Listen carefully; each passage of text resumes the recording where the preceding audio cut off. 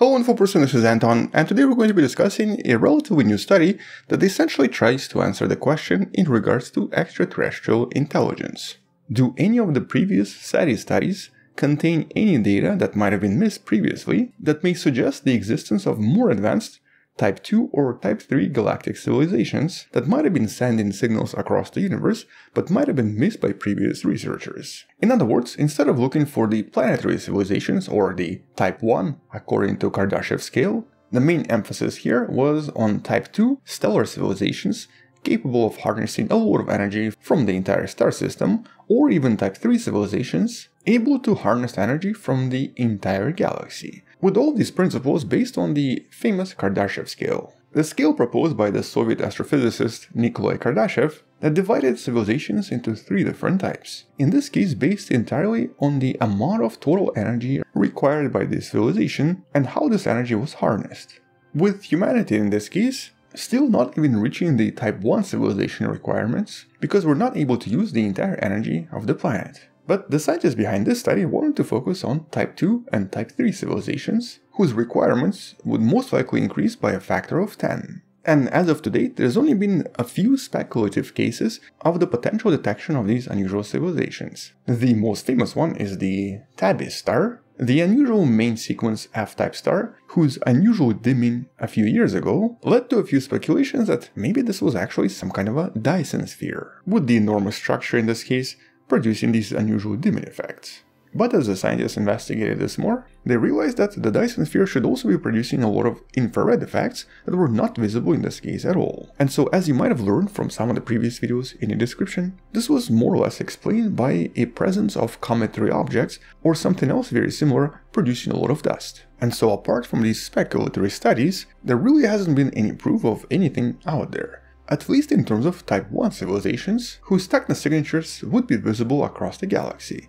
But as of today, all of these surveys conducted by SETI, Search for Extraterrestrial Intelligence, have mostly been looking for Type 1 civilizations in our own galaxy. They have not really been considering anything beyond our galaxy, and for the most part ignored these so-called Type 2 and Type 3 civilizations. And so the scientists behind the recent paper that you can find in the description wanted to establish a kind of a limit on what the scientists discovered so far using various surveys and whether any type 2 and type 3 civilization signs were discovered in them as well. But they did so without conducting any additional observations by using all of the data that already exists and has been collected over the past 60 years. All of this data is of course radio data from various radio observatories, with the main focus being detection of very powerful radio signals that could be potentially sent by some distant civilization in order to maybe communicate with someone else or communicate among themselves. And we'll actually discussed some of these previous potential discoveries in some of the videos you can find in the description, but just to give you a kind of a summary, so far nothing has been confirmed yet. There doesn't seem to be anyone out there. But once again, this was only concerning Type 1 civilizations. However, all of this data collected over the years has also included the line of sight that we've been kind of ignoring until now. And just to help you visualize what I'm talking about, let's take a look at just a random spot somewhere right here in the Milky Way galaxy.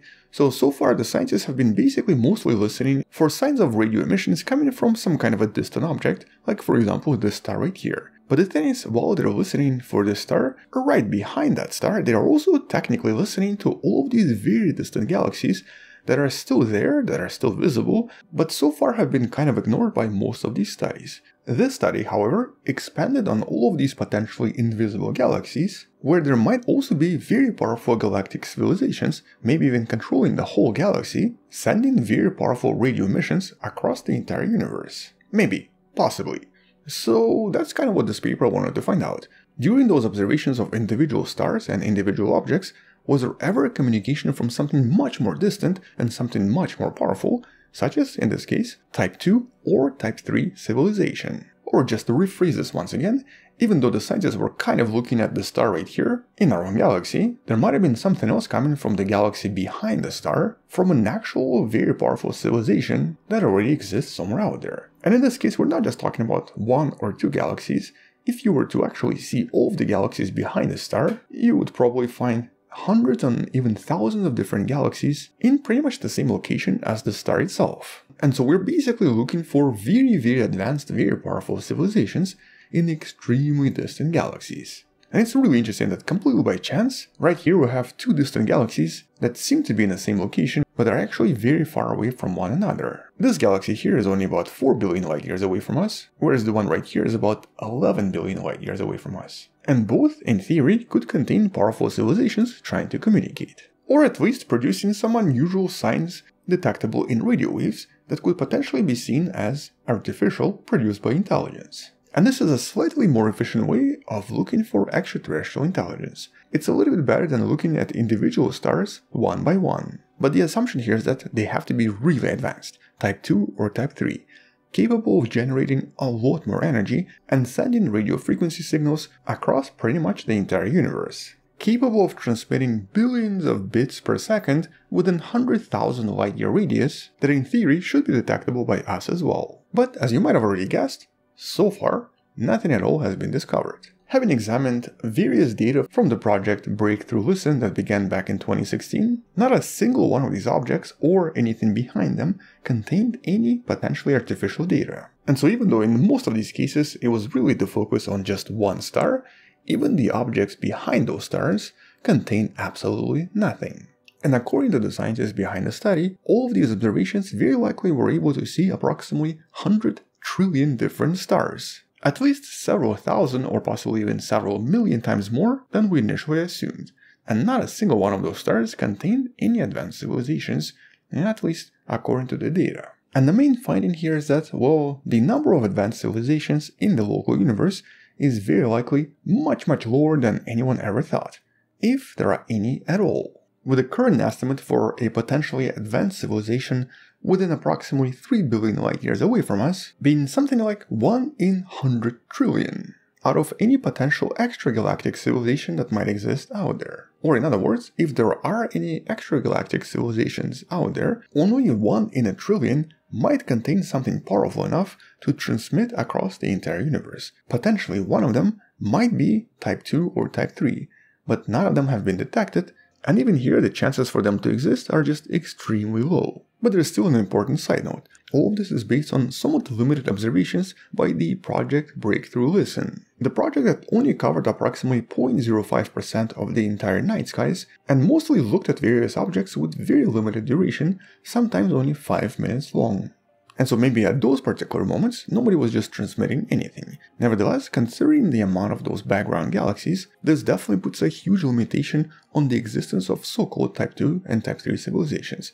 These civilizations that actually many scientists don't think might even exist at all. We've discussed some of this in some of the previous videos regarding Fermi paradox that you can find in the description. And so because the actual observations so far have been kind of limited, there's maybe still a chance. As a matter of fact, if we were to kind of compare this to planet Earth, at least in terms of the numbers and the percentages, it's somewhat similar to how much of the seafloor we've mapped so far. About 10 years ago, it was only about 0.05% as well. And it's only in the last few years that various underwater expeditions such as EV Nautilus, whose video you can find in the description, started to discover signs of actual intelligence very close to the bottom of the ocean. Here's the discovery of a very unusual octopus several kilometers deep in the water. And as many studies have shown before, various octopuses are definitely intelligent. But their existence on the deep ocean floor has only been confirmed in the last decade or so. And so in this case, it's just a matter of more observations and more searches, which is pretty much exactly what the scientists are hoping to achieve with projects like Breakthrough Listen as well. We just need to keep looking, keep searching, and keep trying to improve our techniques as well. Nevertheless, as of 2023, there is no confirmation or even sign of any extraterrestrial intelligence anywhere out there. At least for now, we seem to be kind of alone. But we'll discuss more of these concepts in some of the future videos, and make sure to check out some of the previous videos on this topic as well. These videos should be in the description below. On that note, once we learn something else, I'll make sure to come back and talk about it in the video that should be coming up sometime in the next few months. Until then, thank you for watching, subscribe, share this with someone who loves learning about space and sciences, come back tomorrow to learn something else, and maybe support this channel on Patreon by joining channel membership or by buying the wonderful person t-shirt you can find in the description. Stay wonderful, I'll see you tomorrow, and as always, bye bye.